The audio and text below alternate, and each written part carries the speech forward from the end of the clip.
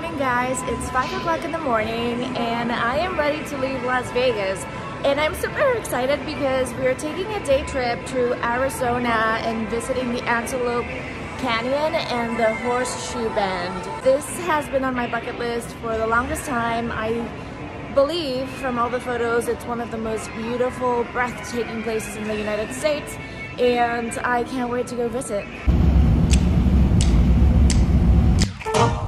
king. Trader for sailor in. Man, trader for sailor in.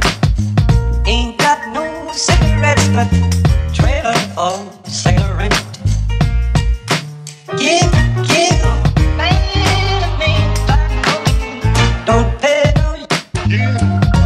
Trader for sailor in.